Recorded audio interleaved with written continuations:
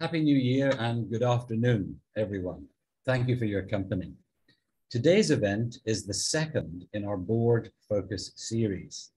I want to recognize and thank Chamber Board member Stephen Revel of Freshfields, who suggested we deliver an event series on what boards are focusing on, what they should be focusing on, and what might be worrying them. The idea is to help inform existing and potential board members, and as always, to learn from one another. Our first event in this series took place late last year and covered cybersecurity and its attendant risks.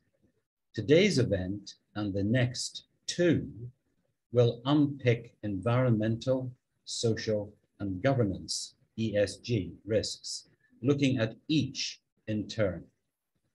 So today we focus on E for environmental risks. We have a panel of expert practitioners from chamber members Brunswick Group, Control Risks, and Shearman and Sterling, whose day jobs are to advise, inform, and help company leadership teams and boards to meaningfully identify, manage, and respond to environmental risks and responsibilities. Please make full use of our time together this afternoon and tap into their knowledge and expertise. That means asking questions. At any time during today's webinar, please type your questions in the Q&A box, which you will find at the bottom of your screens. If you, you also will have the capability to vote on those questions which most appeal to you. The panel conversation and dialogue with you will take place after a keynote address by Ms. Reema Bhattacharya of Control Risks. The panel will be moderated by Mr. Michael Kearns of Brunswick Group. I will be back after the dialogue to make brief closing remarks. And it is now my pleasure to invite Ms. Reema Bhattacharya of Control Risks to deliver her keynote address. Reema, please.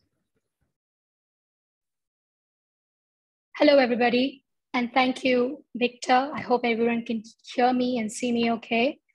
Um, so I'm quite excited to speak to all of you today. And I must say that as a geopolitical risk analyst, I've had an interesting couple of years examining how governments, businesses, civil societies, and capital markets negotiate issues on climate change and sustainability.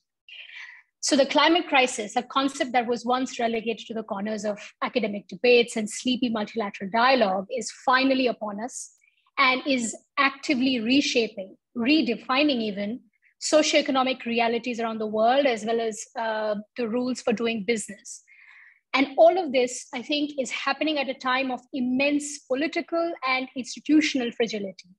Globally, what we can see is an ever increasing number of dysfunctional and vulnerable governments struggling to shore up their pandemic diminished capacity to absorb and manage both external shocks and internal challenges, both climate and otherwise. So I think for businesses, this evolving dynamic changes everything. I think with decades of government inaction and zero sum international dialogue, the pressure is now on businesses to convince a wide array of stakeholders that they are playing their part in tackling climate change as well as are ready for its impacts. Now, if you uh, unpack and focus on the impact piece for a minute, uh, we see that environmental risks today, be it from um, climate change related weather events, biodiversity loss, or climate action failure, tops the global risk agenda. And Asia is very much on the front lines of climate disaster. Now, you don't need me to t- sort of convince uh, and, and kind of put the uh, point on the, um, on the table, but we now see mounting evidence that the escalating frequency of extreme weather events in Asia will have severe consequences for the region's uh, labor productivity, infrastructure, assets, and services, and, and what have you. But uh, climate risk is yet to become a mainstream concept in macroeconomic policy and decision making. Although many policies and initiatives exist on paper, what we see is that most regional governments lack the political will to fully integrate climate risks into critical things like national fiscal policy strategies or even national security considerations.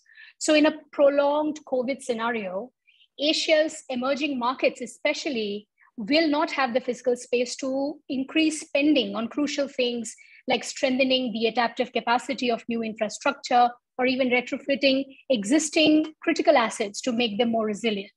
So I think the biggest challenge for boards in the coming decade will be confronting the risks that runaway climate threats pose to their operations and resilience.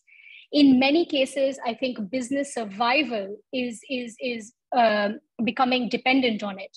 But what we are seeing is that too many companies and organizations are responding to this challenge tactically which is event by event, uh, on an event by event basis. Now, this approach ignores the complexity and the scale of uh, climate risk, I would say. I think from a preparedness perspective, businesses in Asia specifically will need to appropriately consider environmental factors in their asset level risk assessments and ensure that their assets are resilient to environmental events and uh, any resulting disruption as part of emergency response and crisis mitigation strategies, I think companies will need to develop a thorough understanding of national and local level resources that are available to them for mobilization during a crisis situation. These, these could include things like law enforcement capabilities, rescue operations at hand, or even communication systems that, that can come online during a crisis scenario. Equally, I think companies will need to recognize the long term costs of remaining in an area of high environmental risks, ranging from sourcing power and raw materials to the safety of their employees. And from an adaptation point of view, I think businesses especially again in Asia, will need to recognize the interconnectedness of their environmental, social, and governance footprint with their exposure to such risks.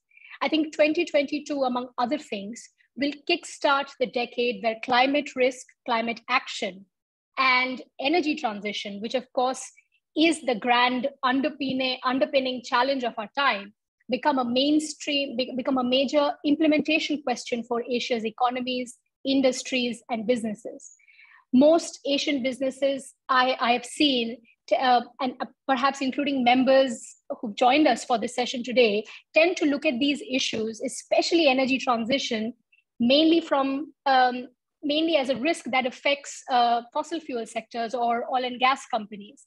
But what the transition is essentially doing is that it's actively redesigning future markets and economies by replacing conventional raw materials that power them with zero emission substitutes.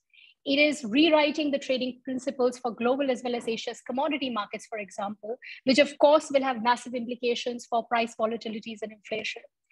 So in the coming years, country level net zero commitments will define the direction of travel for uh, the world's major economies. But here again, Asia's lack of preparedness is pulling it in the opposite direction.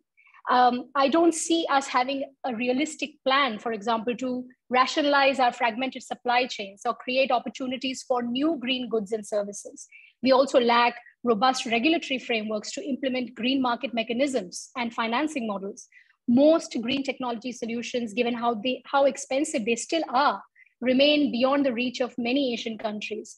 The ones we have access to, such as renewable power, even EVs, face massive scale up challenges. So, looking ahead, and I use this analogy quite often, if you're a company in the 2030 energy economy with operations uh, all over Asia, serving the growing needs of a global market of zero emission goods and services, chances are that all your regional units making the same products in the same way will face a perplexing assortment of climate regulations and enforcement mechanisms that differ in scope and depth from one country to another. They'll also face a number of challenges in securing greener materials and scalable climate technologies uh, amid shortages as demand for low emissions uh, solutions outstrip supply in Asian markets. At the same time, we'll see businesses globally and in APAC face more pressures to come up with their own net zero plans, which are both realistic and measurable. So the net zero imperative is not only shaping global and regional business priorities, but also becoming the, the innovation challenge of the century. Now, the green globalization wave is designed to incentivize and reward early movers. In Asia, this would mean that companies that put convincing net zero plans in place, which includes things like proactively investing in decarbonization technologies, building resilience against climate risk, as we were just discussing, mitigating risks throughout ESG risks throughout supply chains, will have major competitive advantages over companies that are reluctant to act now and are looking for policies and regulations to come first. Now, companies will need capital to decarbonize and take such a big undertaking. And for that, financial institutions and governments are asking companies to disclose more and more information about their exposure to climate risks and their climate action plans.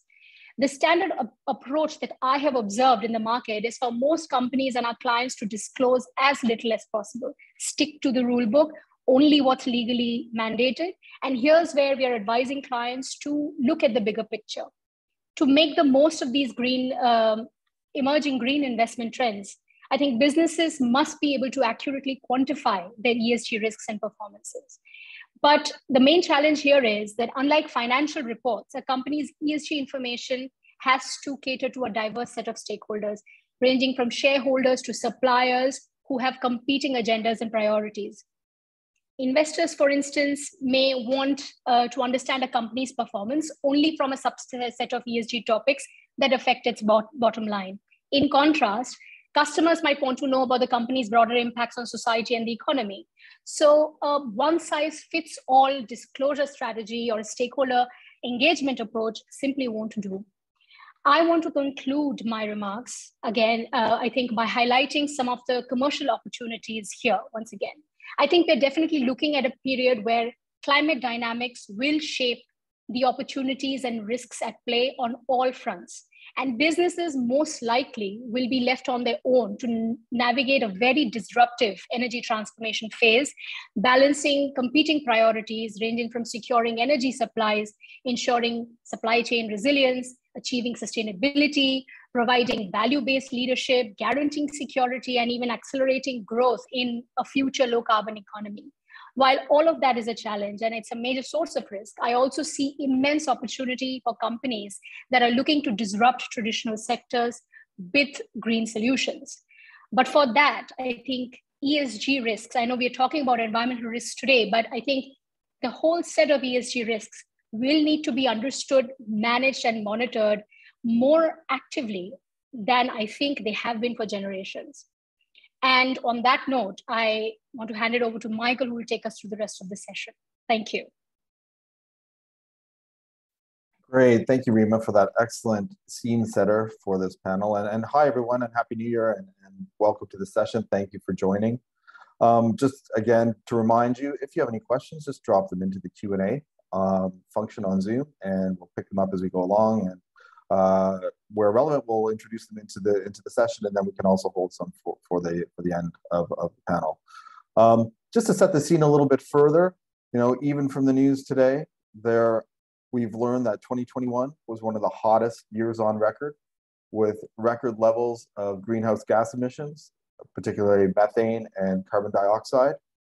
That in a year where we had COP26, where a deal was finally reached on a global market for trading carbon offsets, um, although there is still much criticism and ambiguity around what that deal means and how it gets implemented.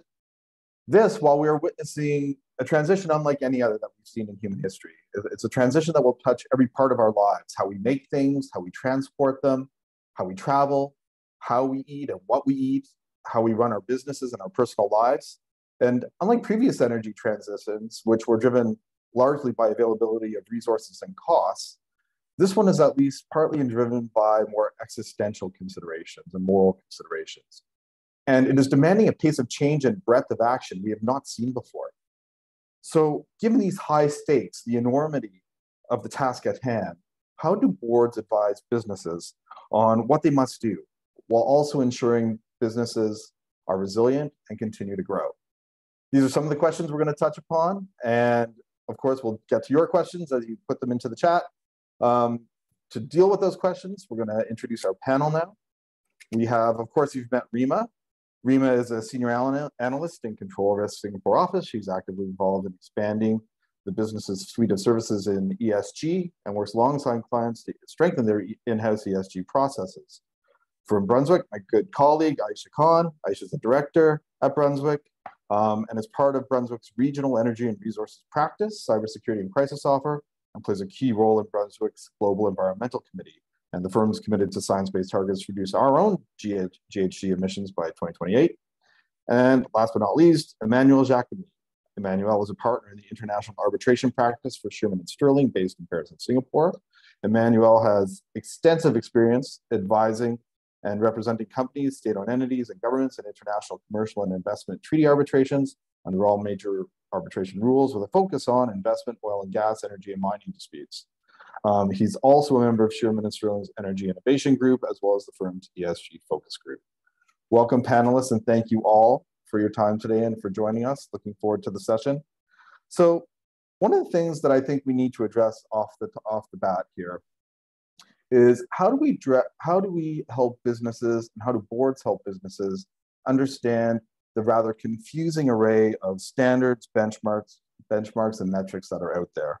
Um, they are complicated, they overlap, they often um, don't even have any correlation. When you look at the MSCI index, which is largely followed by a lot of companies, it only correlates with less than 50% of some of the other big uh, uh, uh, metrics out there like S&Ps and Sustainalytics, uh, the three big providers of ESG ratings. So with these kind of different confusing array of standards and metrics, how can boards advise their business leaders and executives on what they should focus on? Ayesha, why don't we start with you on this one? Uh, thanks, Michael. Um, one of our favorite topics at Brunswick, and you're, you know, you're completely right. It's an absolute labyrinth of sustainability metrics, standards, and benchmarks. Um, Reema touched on disclosure and how little we see in Asia as she concluded her keynote, and certainly it is the bare minimum. Um, for this session, I'll, I'll, I'll come back to the E part, the environmental, and focus, you know, specifically on climate.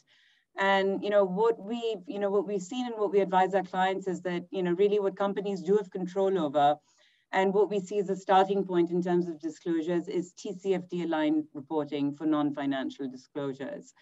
Um, stakeholders increasingly want to see and demand uh, alignment to TCFD, or they want to see that um, you know companies are working towards TCFD.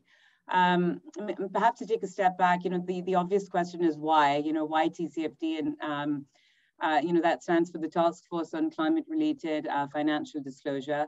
It's really to ensure that um, corporate strategy is stress tested against climate um, and resilient against the impact of climate and increasing regulation on carbon. Um, uh, another point I think that Reema briefly touched on is that, yes, I mean, you know, we are seeing increasing regulation on carbon. Um, currently in Asia Pacific, it is, it is uh, very much voluntary in terms of TCFD, but we're seeing um, a definite shift towards governments and um, regulatory bodies incorporating this into, into policy. Um, and APAC is quickly following suit. I mean, in, in, in, in the UK, TCFD, uh, you know, line reporting is already, um, will, will, be mandatory this year. We can expect to see the same in Hong Kong by uh, 2025. And um, governments in, I, I, mean, across the region, whether it's Singapore, Japan, or Australia, strongly recommend disclosures in reference to TCFD. Um, so, you know, for, for us, uh, you know, there's some very obvious reasons why we would sort of recommend this as a starting point for our clients um, in terms of, you know, a better understanding risk assessments or capital allocation or even undertaking their own strategic planning. Um, but, uh, you know, to broaden out the discussion, but we can expect further evolution and consolidation of standards as we saw um, with the launch of the ISSB standards at COP26. And that's, uh, I think, going to be the next thing to watch for us. Thanks, Ayesha. Now, Emmanuel, you have a, a different perspective on this, given your role in advising clients from a legal point of view. Perhaps I could get you to weigh in on this as well. Yeah, yes, Michael. First of all, Happy New Year. Thank you, everyone, for, for being here. Um, yes, I, maybe I can bring a legal perspective on, on, that issue and, and, and especially on the impact of this labyrinth of rules and, and regulation on, on businesses um, that, that some people might, might not be aware of. But, but the first thing I'd like to say is that risks and, and legal risks in relation to environment is, is not something new. It has always existed. Um, and I've been working on, on cases related to environment since the beginning of my career. What is indeed very new in these last few years is this proliferation of, of rules of all sorts. So treaties, laws, regulations, guidelines, recommendations, etc., at the national and international level. Some of them are non-binding, some of them are binding on, on companies. And, and, so how do you navigate through that? Uh, that that's indeed something very new in the last few years. The second thing that is new, and, and it's directly related to these norms, is the number of litigations relying on those norms. Uh, even in just in the context of climate change, it's been reported that in May 2020, in May 2021, there were 1,841 cases in the world related to climate change. So most of these cases uh, were actually brought in the US, in the UK, and in Australia, but there are some of those cases in Asia as well. And most of those cases were against government, but there are some cases against private corporation. So that's something to take into account. It indeed creates new risks for companies that they should take um, uh, into account. And the third thing that is very new is the scope of these cases and, and of these litigations, which create, especially in, in some recent decision, wide-ranging obligations towards company. And, and a very good example of that, maybe I can say a few words about it, is a recent decision in the court, in the District Court of The Hague in the Netherlands. It started in 2019. It's a group of NGOs and individuals that sued Royal Dutch Shell, asking the court to declare that Shell, number one, had breached its duty of care towards the, the um, citizens of the Netherlands by not reducing its carbon emission. And number two, asking the court to order Shell to effectively reduce the carbon emissions by 2030. And surprisingly enough, they did win the case. The court indeed considered that Shell had breached its duty of care. And number two, that Shell must reduce its carbon emission by 2030 by 45%. And the two things I think that are interesting for us in that decision is number one, that the court considered that Shell breached its obligation not on, not on the basis of binding rules in the Netherlands. Uh, there are no rules that oblige companies to reduce their carbon emission on the Netherlands, but on the basis of the soft law, non-binding principles, and in particular the UN um, uh, principles on business and, and uh, guidelines on business and human rights. The court said, look, you have a duty of care under Dutch law, these soft law principles represent a uniform standard today internationally. You do refer yourself to those non-binding principles in your annual report and corporate communication. And therefore, we will rely on those non-binding standards to assess your duty of care as a matter of Dutch law. So you see it's very wide ranging. Uh, you would think that these international treaties only bind states, that soft law, non-binding by definition doesn't bind company. Well, on the basis of that decision, they do. And the second point that needs to be noted in that decision is that the court considered that Shell was responsible for carbon emission not only of itself in the Netherlands, but also of the carbon emissions of all of its subsidiaries all over the world, but also of the carbon emissions of its business partners all over the world, and also of the carbon emissions of its end users. So it's extremely wide ranging. Now you'll tell me, okay, this is in the Netherlands, you know, it's, it's a big oil major company, how does that create a risk for, for boards and, and, and companies in, in Singapore? Well, it might well create a risk, and, and I think for, for two reasons. Um, number one, because the reasoning that were used by the court is perfectly transferable to other jurisdictions. And in fact, there are no similar cases in civil law jurisdiction in France, for example, in the UK and Australia. And number two, because that reasoning is not limited to the oil and gas uh, industry.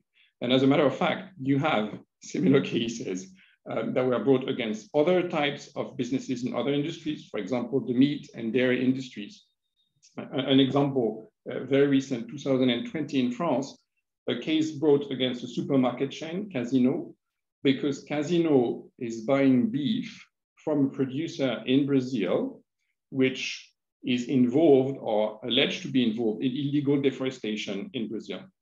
And so the, the, the, the, the plaintiff said, look, you knew about this or you should have known about that. You have not acted upon it. And therefore, that's a breach of your duty of care. So it's extremely wide ranging.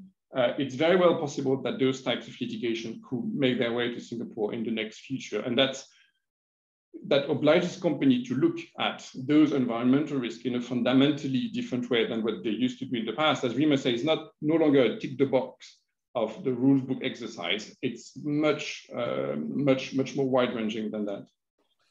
Thanks, Manuel. And Reema, one point that I'd like to bring over to you from building on what Emmanuel said is, and what Ayesha said is, so now you have not just the complicated metrics and standards and benchmarks to navigate, there's also the, the very real risk to the business through litigation, through reputation, and and you know other other things that are existential risks. What is the risk of paralysis when you look when if if companies look at this and they think we don't know where to start, we don't know what to do, so maybe let's sit it out and, and see how things develop. What's the risk of that? The risk of paralysis? That's a very interesting question, Michael. I think the risk of paralysis is to just be waking up to an avalanche of, of, of all kinds of risks, whether it's litigation or court cases, you know, even civil unrest for that matter in, in your on the ground operations uh, two years down the line. So I think Ayesha and, and, and Emmanuel both spoke about this, but what we see uh, happening is um, in Asia, things are, get even more complicated is because of the challenges of accessing quality data like what is all of this you know the global uh, fragmented reporting regime is kind of based on voluntary reported data. It's also kind of and and it and, and if you see the second tier of data aggregators third party risk providers they're all kind of drawing information where they compare company to company that also public public reported companies on what is voluntary reported data. Now as we know i mean the rules of business and the rules of investments in asia is even more complicated. So how do you access what is actually happening on the ground. So if you if you set up so a lot of our ayesha spoke about tcfd a lot of our clients come and say how do we you know tcfd is kind of imagined from a global perspective which is a great i mean it, it's a good thing to start off with but how do we kind of localize that? How do we use i mean how do we uh, capture the complexities of doing business in asia using those um, those kind of um, that globally imagined metrics. And i think this is where one of the biggest risks uh, for businesses in asia are. So because asian reg- regulators are doing so little to define their own taxonomies to come up with their own qualifications of what is green what is not green. Now what that the, the, the risk of that is that you know eu for example is leading the charge on this. And and if that kind of parameter uh, is, is a very stringent one to set on Asia. So you're, you're kind of comparing apples to oranges here. But to come, come back to your question on where do companies start? So we are doing some very interesting work with clients, big publicly listed companies with complex exposure to go global supply chains, exactly on this. So we, we're, we're kind of helping them map okay where is this scenario going? So let's break it up. Look at environmental regulations look different look at different aspects of it and and look at what the scenarios are globally and for asia and what your exposure is. So i feel like for a lot of our big businesses it is to go back to the drawing board come up with a strategy and and do that whole complex supply chain analysis which is cost intensive time intensive but it is a worthy one time effort which kind of you know it will pivot your business to adjust to new risks in the next sort of 30, 40 years. So it's a one time big investment, but a very significant one, which I think companies should very seriously take. Yeah, thanks, Rim. And that, that actually gives us an opportunity to bring in a question from the floor, which is, you know, how do businesses incorporate a, an environmental or sustainability risk on existing enterprise risk management frameworks or ERMs? Um, do they have to start from scratch or and reevaluate their whole ERM, or is there an opportunity to build on what they have and and embed sustainability and environment into that framework ayesha perhaps you can lead us off on this one I think uh, most advisors would always say that you know you always start with what you've got. There's no point starting from scratch. You've got to build with the basis of you know what, what's already existing. I mean, I think what um, you know, what we've seen is that, you know, you've got guiding principles of traceability and of transparency. Um, and when you're looking at this from a climate perspective, um, you know, usually that starts with formulating a climate policy and, you know, there's the benchmarking exercise that you go through.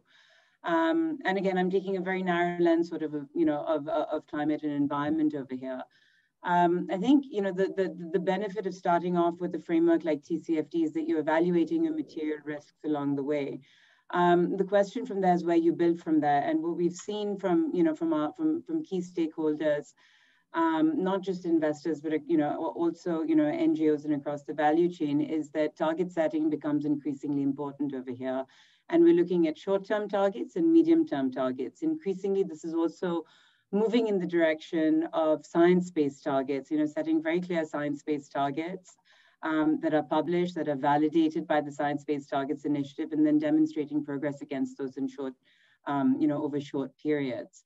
Um, I, I, I, appreciate it's a lot easier for firms like Brunswick to undertake uh, a, a, journey like this than, than some of the more sort of resource intensive industries that, you know, that, that, that characterize, you know, large parts of Asia, especially where land use and supply chains are incredibly complex um, and very long. And frankly, um, you know, we're just beginning to make inroads in the traceability of these uh, supply chains down to, you know, plantation or land or um, mill. But I think, you know, for, for, from our perspective, that's very much the starting point. I think just to add to what Ayesha said, um, a good starting point, I think, for our for companies, at least what that's what we're advising. I think companies over time have been uh, reporting material financial risk. They also have in-house corporate social responsibility as well as compliance mechanisms. So a good undertaking would be a gap assessment versus where you compare what you capture information wise in house what have you been capturing over the years and where is the regulation evolving so where do you where do you have to scale this up? So that gap assessment is a good starting point where you know okay these are the material i mean financial risks that we've captured and the non-financial information that we've been reporting incrementally along the side. And this is what more we need to do. So taking stock of what you do already and the risks uh, that you've been reporting to investors and businesses and then seeing where the gap is and, and how much you need to scale that up i think is is is a good starting point. It's something that you know can be kicked off at a corporate strategy level.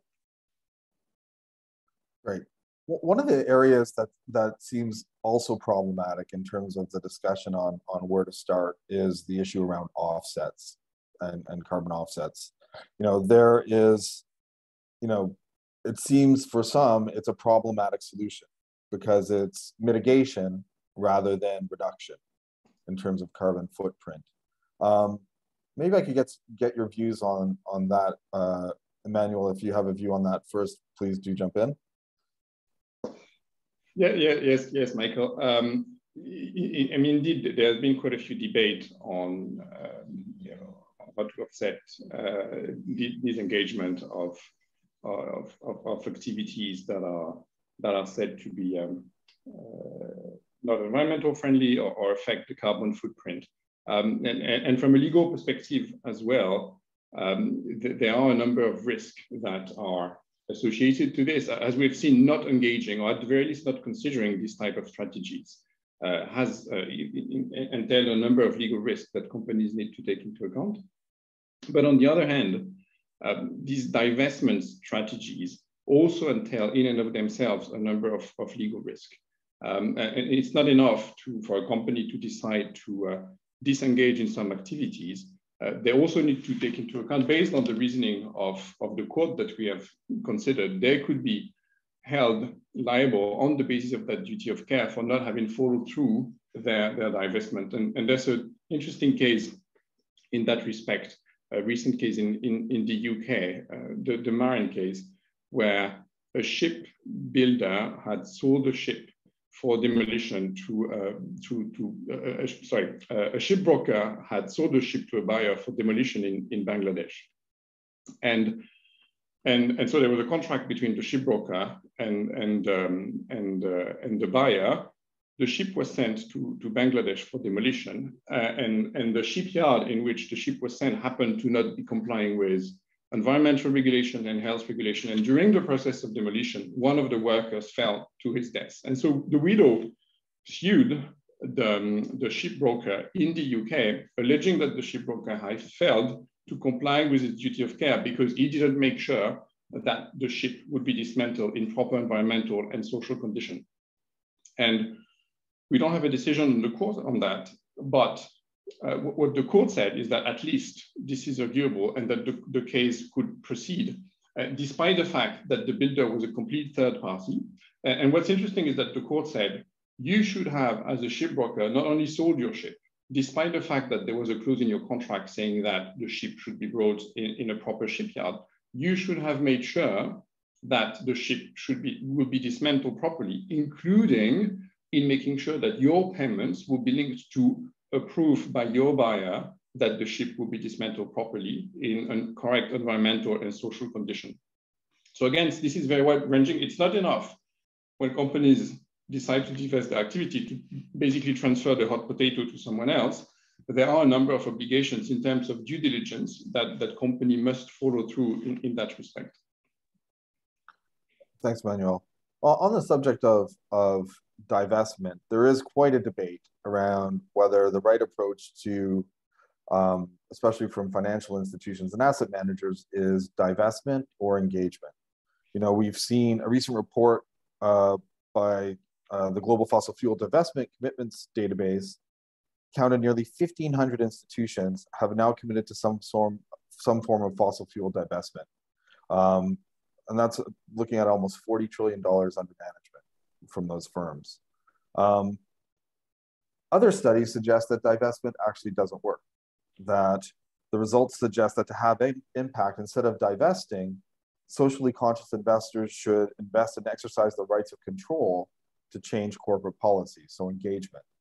Um, Ayesha, what's your view on the divestment versus engagement debate? Um, actually, I'm going to quote a few Brunswick views that we've gathered here. Um, we, I think we had a, a, a, panel a couple of weeks ago that touched on the topic, and there are definitely a few trends that we see, um, and and this is you know this is sort of in sync with the huge evolution that we've seen in the debate around climate.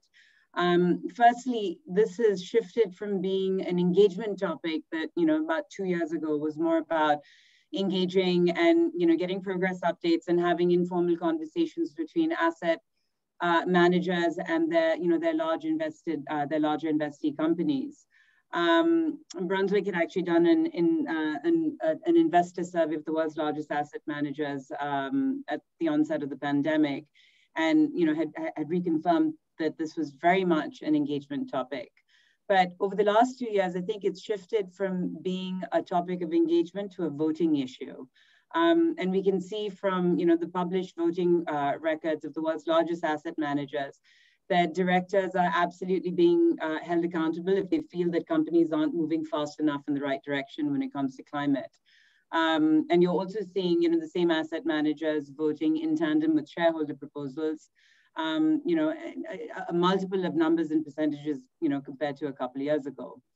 I think the, the, the second trend that we've seen, and you know, this, this, this touches on um, sort of the divestment uh, um, issue you raised. I mean, there, there, there, has been a shift in capital allocation um, with much greater inflows for ESG funds. Um, and ultimately, I mean, you know, we, we this is this is a very very long term trend that we don't see losing steam anytime soon. But new capital is going to companies with good ESG credentials or a strategy on climate. And the incentive for these, you know, companies is that you know the cost of capital keeps going down and valuations keep increasing.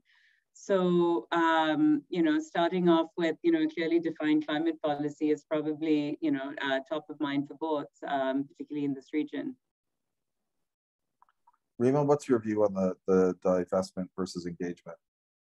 I think the general direction, yes, I think the general direction is, um, I mean, I see DFIs, big listed companies increasingly coming, coming under pressure, come under pressure to remain engaged rather than divest. And one of the lenses that I've applied recently on is how much this divestment is a trigger for the current global energy crisis and crunches and, and shortages. So we've reached a situation now where investments or divestments in fossil fuel sectors has sort of rapidly uh, sort of declined, but at the same time, we don't have renewable energy solutions that can be scaled up. So there is a situation where the world is over reliant on natural gas as a transition fuel, which is again triggering its whole set of cyclical energy shortages. Now, that's a real concern for regulators, for governments, for businesses in general. So I think we'll have more situations where, uh, of course, DFIs come under increasing pressure to not divest and remain engaged, set up strong KPIs for companies and may help them make that transition. Now, that's easier said than done in Asia, where again, access to real information, on ground intelligence on what the, the company is actually doing to uh, sort of, you know, making you, you, how is it utilizing some of the transition funds, all of that, the corruption involved in it, the, the, you know, the political patronage systems that are developing, all of that becomes relevant. And to capture that information in a decision useful manner is, is I think, going to be a challenge. So, so no, no simple, straightforward answers there. Manuel? Maybe one, one thing to, to add uh, on, on, engagement, Michael, because a lot of these projects in which companies are, are investing that are said to be sustainable are also dependent uh, on uh, very often incentives proposed by governments in, in various countries uh, in favor of you know, solar, wind energy. And, and there's a risk as well here because very often these policies are extremely volatile and they are part of, of the financial planning of, of investors. And, and, and we saw that recently a lot in, in Italy, in Spain, or, or in the Czech Republic. Um, in particular, in, in the years 2000, Spain introduced a lot of incentives to attract investors to invest in the solar and wind industry. And it worked because they attract billions of investments of, of dollars in that sector. But 10 years down the road, Spain realized that it was too costly for them. And so they repealed the incentive. And of course, that had a huge impact on the profitability of the investment made by, by those investors at the time. So the good news here is that for most foreign investors investing abroad, there are investment treaties that protect against this type of risk, against legislative changes that tremendously impact the investment of investors. And indeed, a lot of, you saw a lot of cases in Spain in Italy and in the Czech Republic at that time precisely on that reason. The bad news is that it doesn't work all the time. And it's only in very specific circumstances, depending on how the investment has been made, depending on the guarantees that were given by the local governments in respect of those incentives that foreign investor can bring those claims. So in most of those cases actually worked. Uh, investors got damages for the repayment of, of those incentives, but it didn't work all the time. So if if that's something that concerns um, uh, companies operating in Singapore, uh, it, it's important to take special advice in, in, that respect and make sure that the investment meets the conditions that allow them to be protected by those types of treaties. Right. And that is a very confusing thing for investors to navigate because for, for example, with MSCI ratings, um, it doesn't actually take much to upgrade your ESG rating on MSCI's index. Here's a, here are a few examples of the things that can up that can give you an upgrade. Conducting an annual employee satisfaction survey, allowing employees to report grievances, excluding the use of toxic chemicals in your products, adopting a recycling policy, um, and setting an emissions target, but actually with no need to include scope three emissions. So it's a very wide range of things that you can do to get an ESG upgrade, some of them more significant or less significant than others. When investors are looking at businesses and companies that they are potentially interested in as a, as a sustainable play in the market, what are the kinds of things that they can look for that are red flags? What are the red flags uh, in terms of um, whether or not a company is walking the walk when it comes to its sustainability commitments. Anyone want to take that first?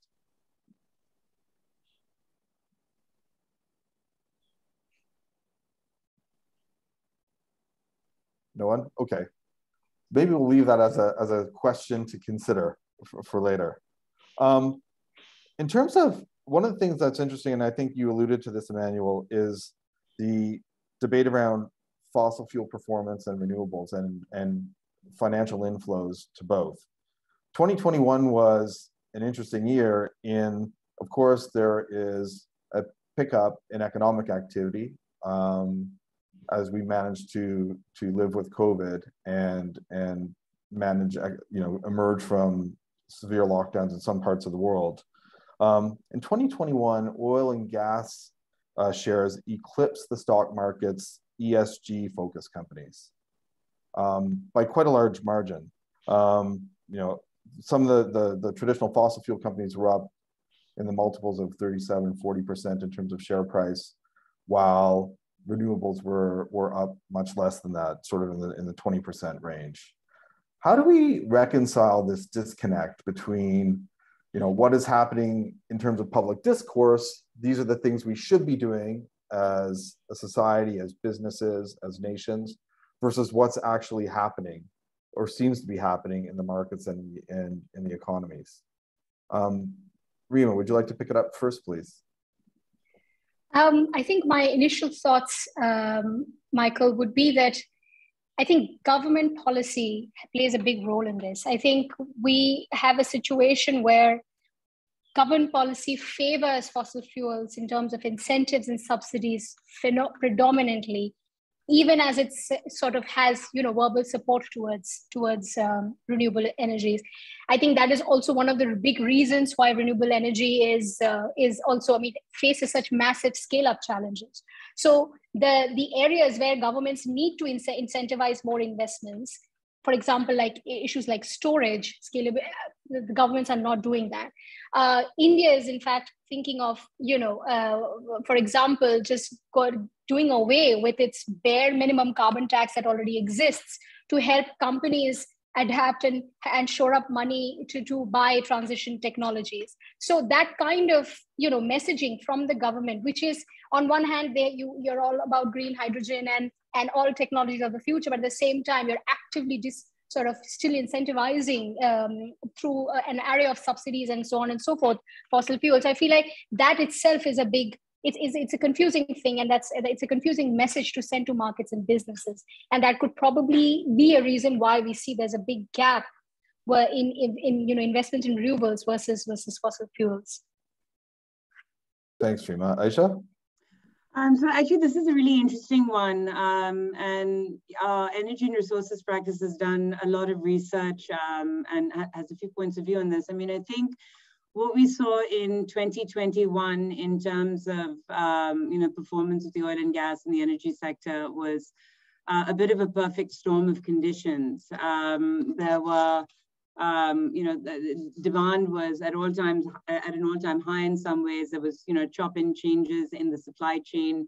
Um, you know, recovery from COVID came about a lot faster than some governments anticipated. Inflation was lower, and then, you know, there were just some, you know, some um, um, bellwether events. I mean, it was a very cold winter. There were, you know, supply disruptions. So you know the I, I, think the you know the price of commodities and you know oil and gas in particular were pushed to unnatural highs in 2022 um, and given you know underinvestment um, in the sector and less M&A activity um, further up the chain upstream um, there was a lot of cash and and you know these companies a, number of companies not necessarily across the board but a, a few just performed exceptionally well, um, which was reinvested, given back as dividends, etc. So I think you know the outperformance that we saw in this sector was um, a bit of a perfect storm of you know 2022.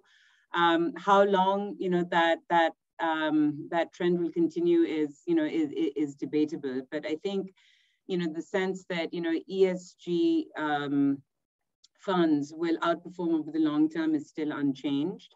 Um, just, just, just one point I want to go back to that, you know, that Reema had touched on, which was on the issue of subsidies and, and, and separate to that innovation.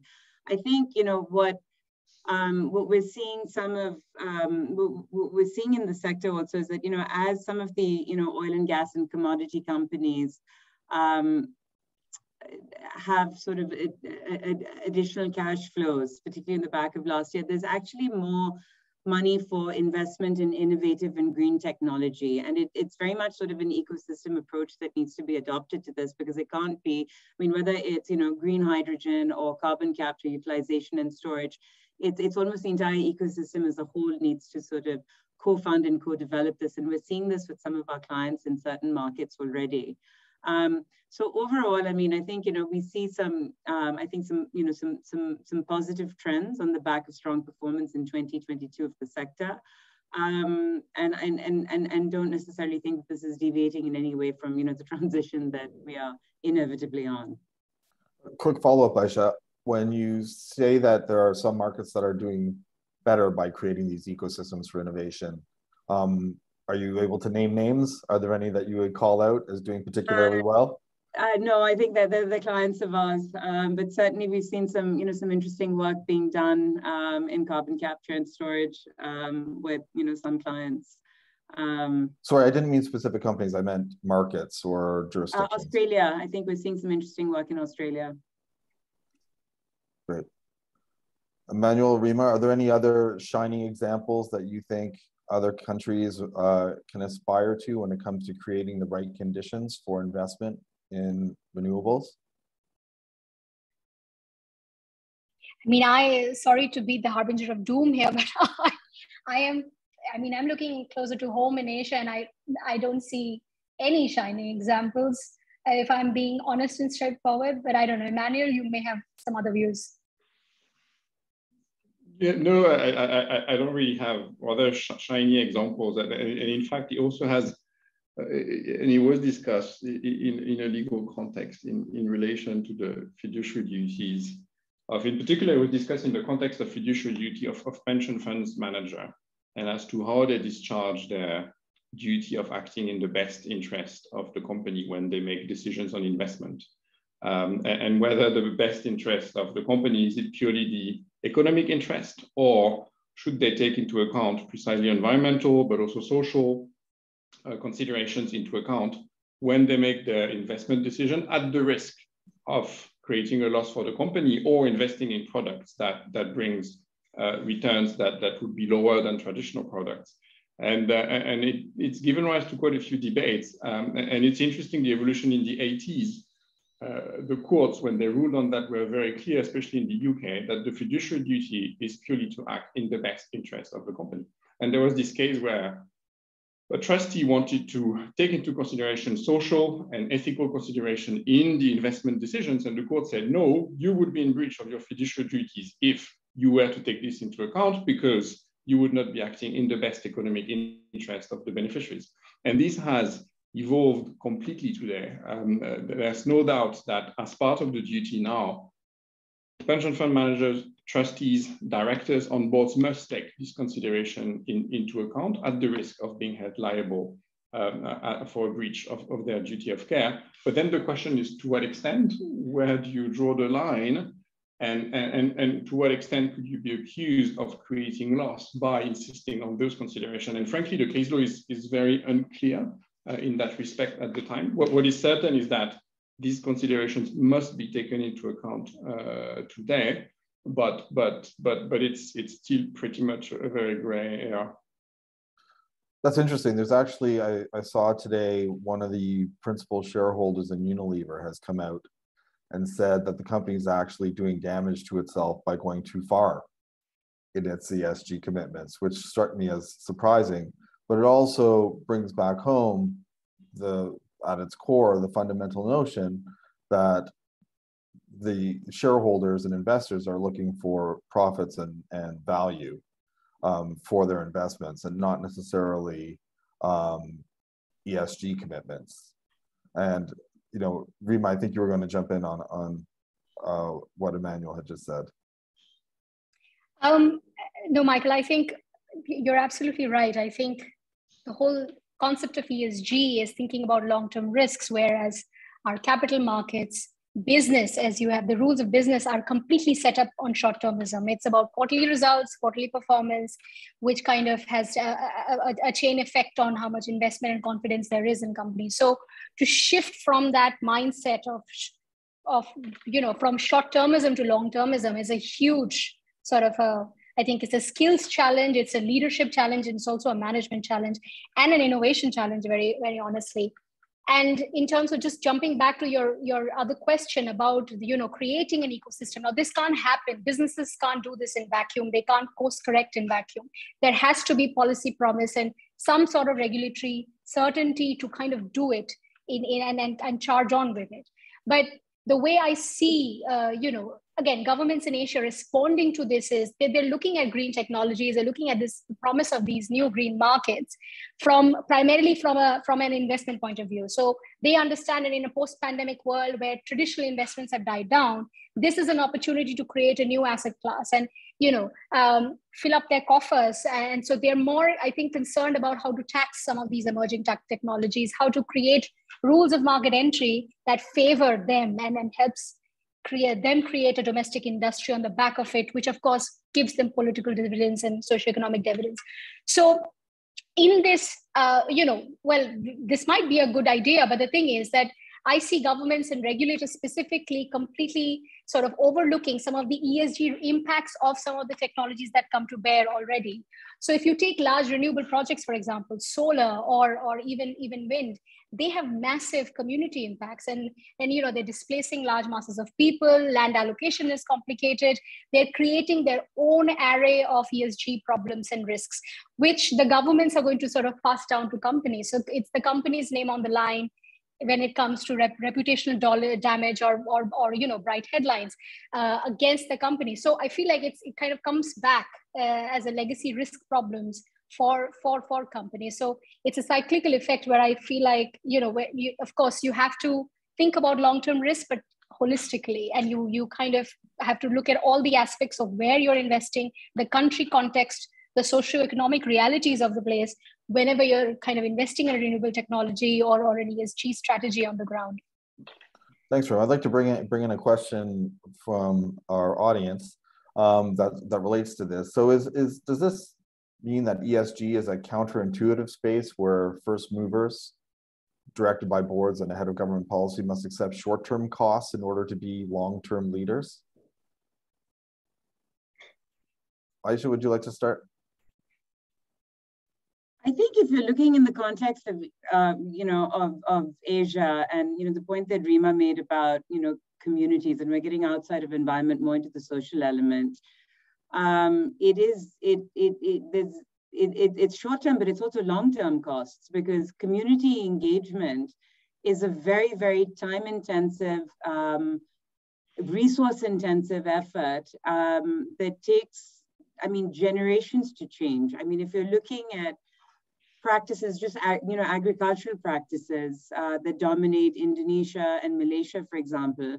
Um, first of all, you know, I, think we touched on traceability earlier of supply chains, but tracing down to a plantation or an individual smallholder level, understanding what the issues are on the ground, meaningfully creating social programs and, and, and, and, and executing sort of capacity building with you know the right stakeholders of each you know village society or whatever it takes years. It's not um, it's it, it's definitely not a, a, a I think a short-term fix. And I, I, think the only point that I would add to Reema's is that there are short-term costs, there are long-term costs, and it takes a, a, a really long-term commitment, um, which is you know which is where I think the more progressive companies and you know the winners, if you know if we're going if, if we're going to separate the winners from the losers, it, it, it, it's going to be about where boards are, you know, properly looking at their scope three, um, and that that you know that involves the full breadth of the supply chain and the value chain, and and and ensuring that it's traceable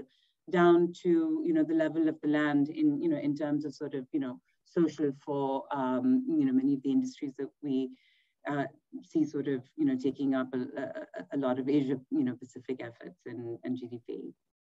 And maybe just to add to what Ayesha said, I think ESG regulations, if you're looking at it from a policy and regulations level, it may seem a bit counterintuitive right now. But the thing is that I must stress there is a wealth of information that private sector can draw on. And I think mm. that's one of the issues that we wanted to discuss about having the right talent in your organization and having the right people lead your ESG strategy as you go into this you know, new uncharted territory. There is a lot of uh, information on how you do this. How do you do, sort of navigate scope three? Where do you start?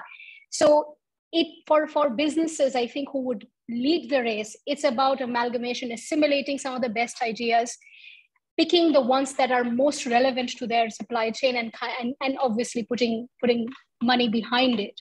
Um, but yes, I don't. What I would like to say is you that you will not get that kind of direction from governments or policies anytime soon.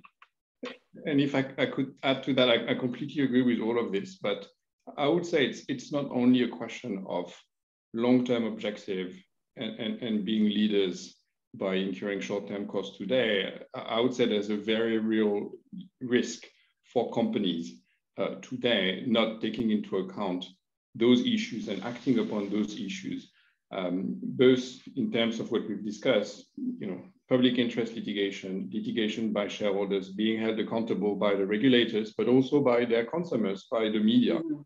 So, so by thinking that all of this is long term, uh, it, it, it, would definitely be a mistake. There's a very short term risk here, both legal and economic. And as Ayesha says, it also takes time to implement those policies, and, and the risk will keep increasing in the next few years uh, as long as the regulations keep, keep following through. And, and companies that are not prepared for that, they will certainly have to pay the cost uh, in, in, a couple of years or even, even uh, in a shorter time frame than that.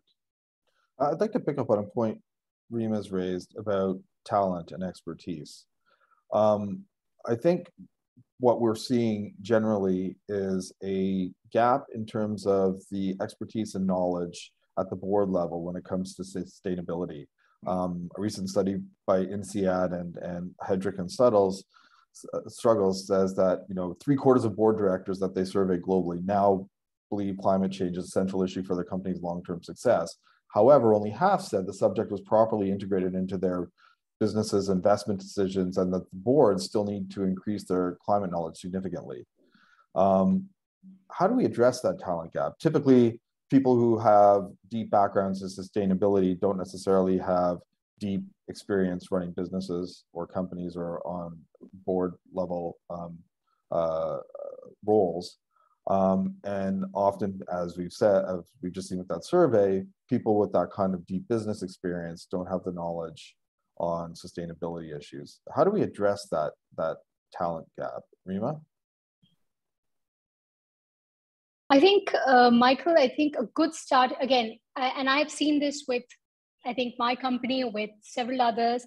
The idea is um, everybody gets confused and then they put out you know uh, great job descriptions or things uh, they want to hire recruit people with deep sustainability knowledge which like you very rightly pointed out don't understand businesses. There's very little focus on actually upskilling people within your business who really understand everything and, as, as it relates to your business, but also have that aptitude for understanding a wide array of ESG risks. So I think there has to be more focus on upskilling. And, and I'm often very surprised at how much my clients, even at board level, are speaking to people on the ground, are, are, are having converse, intelligent conversations with people with that kind of background picking up that knowledge you know surrounding themselves with experts or, or speaking with experts so to pick up on the knowledge.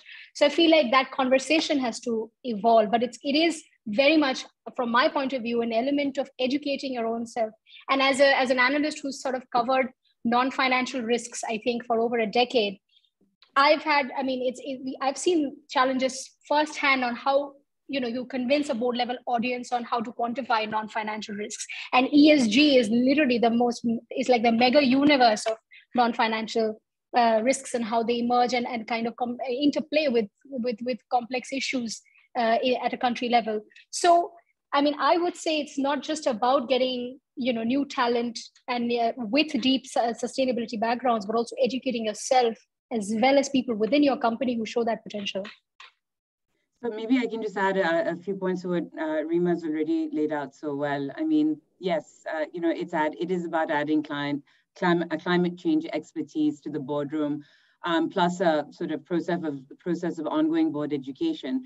But you know, the board also has access, and, and that's both independent as well as non-independent directors. They do have access to their management, um, who are you know experts in their field and are there to sort of manage risk. So I think, you know, the, the, there are a few steps. I mean, one is ensuring that, um, you know, that this proper identification of material risk in terms of climate and that it's on the risk re register. If, if that's managed well, I mean, it's, it's obviously in the board's interest because it leads to a better cost of capital as well. And the next step, I, am sorry to keep going back to it, but it goes back to disclosures. Um, and then, you know, on the flip side of it, when you know what your material risks are and they're properly measured and disclosed, you know, the, the, the next part is also about linking um, you know, KPIs to executive compensation. And, you know, you've got sort of disclosure and metrics and action and results. And it, it, it, it creates almost a virtuous cycle. And, and, and, and that really starts, you know, from, um, you know, from, from the board and is directed by the board. And maybe I can add to that, that Michael and, and particularly Reema's point that that it's essential for, for boards to get acquainted and, and understand these issues. It, has a legal implication, uh, specifically in, in Singapore, in the UK, but also in Singapore. Um, the directors have a fiduciary duty and, and also a duty of care um, towards their companies. And that duty of care includes making sure that they understand, take into account, and act upon environmental risk that can create uh, difficulties for their companies. And, and this is at the risk of civil or criminal liability. And, and the important point to note is that that standard is not lowered by inadequacies in the individual's lack of knowledge or expertise in those issues. It doesn't work. So you cannot say, I don't know about that risk. Uh, this is not my expertise. I don't understand. Well, you should have known, or at least you should have taken advice from people who know about it, and therefore you're liable. So it's indeed absolutely essential for boards and directors to uh, understand those issues and, and tackle them seriously. And, and, and here I would say that from a legal perspective, the, the general counsel, the legal team of, of companies is, is essential in assisting in that process. Um, I would say maybe in, in four respects. One, identifying and monitoring the risk. And, and we've seen that it's much broader than just a box ticking exercise of, okay, what's the law? Do I comply with the law? It's much broader than that. Two, helping devising policies that identify the risk, understand the risk, and also help the company act upon those risks. Three, being able to react to an environmental crisis or, or an environmental litigation. And, and fourth, and, and maybe that's the, the, the most important and also recent, is being able to advise the company on decisions that will impact the future of that companies. In what assets should I invest? Should I divest? Uh, what type of financing would I be able to obtain in the future, depending on my environmental profile?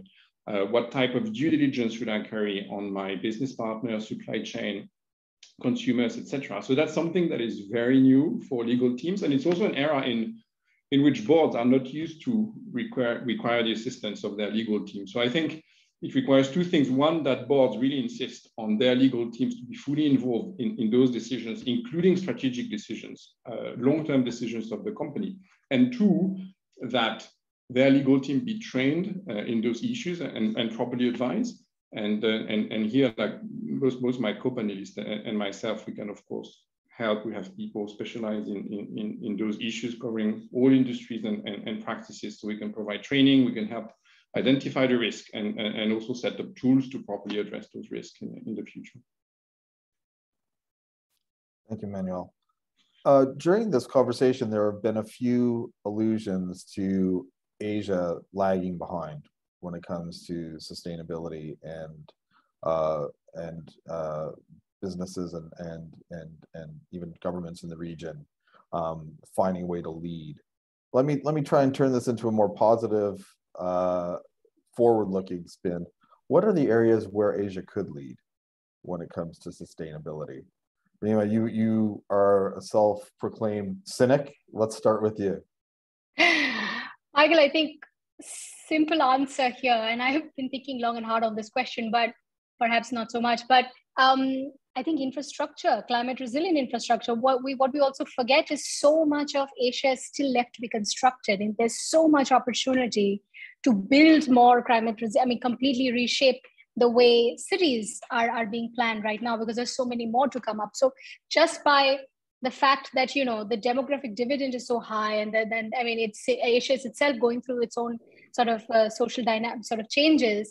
I think again, just the possibility of creating new in climate resilient infrastructure, since we were talking about environmental risks, would be a big, big, uh, big opportunity things like again emerging sectors whether it's hydrogen whether it's biofuels these are niche new sectors. There's so much opportunity in markets in, in densely packed consumer markets in asia. So if you set the rules of the game right and it's something that really works which gives financial as well as esg dividends it's it's one of the best markets best regions for for testing out some of the best some of the new technologies emerging technologies. I mean if anything renewables has shown how much it can be scaled up even in markets as fragmented in, in asia. So those would those would be my top two. Thank you Reema. Ayesha where would you say that asia has opportunities to lead on this? I think Reema made some excellent points, so it's hard to follow up on those. But I think in addition to new infrastructure and how you, you know, you plan cities, it's also to a degree, I think, you know, we've, we've got to work with the infrastructure that we have and filling the gaps that, you know, that currently exist. Um, you know, there are a lot of coal assets um, in, you know, in emerging markets uh, across the region that um, need upgrading um, because they're nowhere close to being, you know, to being retired at this point. Um, and the same could be said for power grids across the region. Um, so I would just build on Reema's point to say that, you know, in addition to new infrastructure, it's it's improving and strengthening um, and in, I, I, guess introducing redundancies where we can with, with the infrastructure that we've got. Thanks, Ayesha. Emmanuel, you straddle both Asia and Europe in your role do you see areas where Asia could be a leader on this? Yeah, i will be a lawyer again here and pick up on, on Reema's point. I, I think in, in terms, it's quite interesting because all of these issues and, and norms and regulations, uh, for once didn't come from, mostly didn't come from national governments and laws, but came from soft law, international treaties, uh, everything we've discussed. And that's the reason why it's so difficult to navigate, coming back to our, to our first question. And, and really, I think what would help is for governments in Asia to develop a normative framework on which companies could rely precisely to know how to navigate and to make decisions in the future instead of potentially being held accountable on you know, the basis of very vague uh, principle or, or, instruments that they thought would not be binding on them. So, so, so there were some um, uh, legislation frameworks that, that have been adopted or proposed in, in Europe uh, recently, and as Reema said, they're not necessarily adapted to the Asian context. So that's definitely where an era where Asian countries uh, in general, and, and, Singapore in particular, could take the lead to make sure that you know this normative framework exists for companies in, in Asia and that it is adapted to the realities of, of the Asian market. So definitely that would help. Picking up on one of the, the questions from our audience, um, what is the scope for industry to work with governments in the region or even regional bodies like ASEAN to create standards or co-create standards and then transparent reporting processes.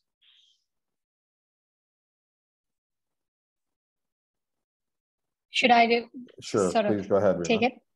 Okay, uh, I would say I think that's one of the areas that that's that's that's one of our key pieces of you know advice to clients. We see, especially in Southeast Asia and South Asia, and, and generally emerging markets, there's tremendous appetite for government functionaries and even departments to work with the private sector to, to develop these kind of standards and rules uh, for, for certain sectors. What we see is that there's also an immense talent talent crunch on the government side. Uh, you know, the technocrats that are there, the people who are kind of leading portfolios uh, in, in, in, for example, Indonesia, India, Vietnam, they don't really understand the full array uh, and complexity of environmental risk. So, as I was saying, they have no idea how to sort of frame those rules. What is anti competitive? How to even go about this? How do you set those standards locally?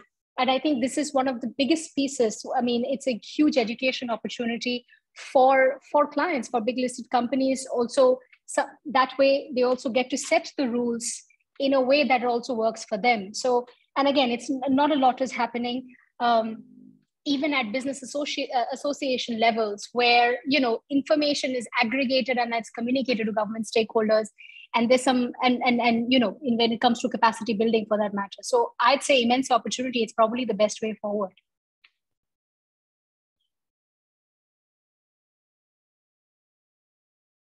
Ayesha or manuel do you have a view on that? Working with governments or regional bodies on standards? I think the difficulty, I mean, maybe this is uh, not a popular view, but I think the difficulty in coming up with Asia-specific standards or regional-specific standards is that we lose sort of, you know, the integrity of global standards. And when you're looking at, you know, in, you know, large asset managers and large asset owners, it becomes very difficult to make, um, you know, it, it, it complicates, you know, sort of capital allocation decisions. Um, I think I think some of the frustration that you know that we've you know seen um, you know expressed uh, with sort of you know disclosures and how to sort of you know measure ESG and uh, risks and, and and also report against you know progress against certain metrics is we've seen the shift from obviously you know a decade ago from GRI towards SASB and then you know and on the climate front towards TCFD. I think you know the the launch of the ISSB standards at COP26 is a positive development. And, um, you know, we'll see more convergence of standards around that. And that actually does sort of, you know, aim to address the full spectrum of, um, you know, sustainability well beyond just climate. Um, and it's got sort of, you know, the buy-in of key players over there, you know, for a convergence of standards. So um, I've sort of um, pinned my hopes more in that direction than bespoke sort of, you know, Asia specific standards. Great. I see we have about five minutes left. Um, if you have any questions, please do drop them into the Q&A um, on the Zoom function. Uh, and speaking of which, I will go to one of those questions right now. Um, how effectively can technologies such as Project Greenprint initiated by the MAS provide visibility on compliance to ESG, especially in scope three? So, and what is the as a follow-up, what is the responsibility of boards to nudge their companies onto such platforms when it's not a regulated compliance issue? Um, if you're not familiar with Project Greenprint, it's a collection of initiatives by the MAS that aims to harness technology and data to enable a more transparent, trusted, and efficient ESG reporting um, platform or ecosystem. Um, Emmanuel, would you like to take that one first?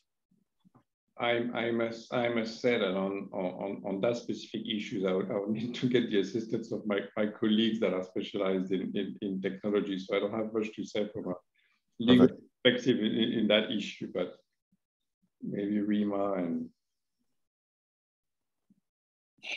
I think very broadly, of course, technology has a big role to play in this. But the only, I think, word of caution here, what I've observed is a lot of the technology in the, the green space is still emerging. It's still yet to be tested. So I feel like a, a go-to strategy, uh, you know, a, a go-to technology will not probably be a good strategy it for boards or for companies. Rather, I think a lot of this needs to be, it still remains to be tested out. So it, it, it would rather be about using a combination of um, you know the, the, with technologies that are out there also understanding what their competitors are doing and what's worked for for companies their peer companies in the market, what's not worked, and what's their experience has been. But I think that a lot of this is is, is really evolving. So it's a, it's a kind of, I mean, even when from for boards to nudge companies to, to adopt a particular kind of technology, it might be might be a double-edged sword. I think there needs to be more thinking about you know where the gaps are. Also, what is the underlying information that is being captured through these uh, platforms, and how credible is that really? Um, you know in terms of on ground realities so that would be my two cents to this and and, and mine is probably an adjacent cent or half cent um, but I think you know technology has a role to play in measuring scope three. I don't know that it's with a platform. It's more sort of being able to see how you can deploy uh, big data or you know IoT or you know other uh, uh, other technologies to understanding. I think you know the, the the breadth of your supply chain and how to optimize that. Um, and, and, and, you know, that takes us back to, again, you know, traceability and transparency and measuring scope three. Um, but that's slightly different to the question you asked about like a specific but even with scope 3 ayesha as you as you would know i mean the science to back up measurement of scope 3 is still quite weak. I mean there is a lot of debate in the academic circle in the scientific circle. So even with like you know big words like big data you might come up with very sophisticated models uh, and predicting certain scenarios. But the thing is again what is the underlying information that goes into it? And how credible is that that is being uh, that information that you're seeing on your screen? So so yeah. that's, that's, actually an even more acute problem here i mean what we've heard time and time again is getting i mean first of all getting information or getting data on scope 3 is a challenge in and of itself let alone reliable data. And what i think we're hearing more and more is that you know um, investors are setting almost time limits on, on their invested companies to demand this information of their customers and their vendors in the supply chain you know, before you know contracts are up for renewal, etc. But um, but you're absolutely right. It is um, it's it, it, it's a very patchy uh, area for data um, you know for data collection and verification. On that point, I think we are just about out of time. Thank you to our esteemed panelists, Reema, Emmanuel, and Ayesha. I hope everyone found it a helpful, fruitful discussion. Um, thanks to the audience for your time. And before we go, I'm going to hand it over to Victor for some final thoughts and uh, tease for what's coming next at the SICC.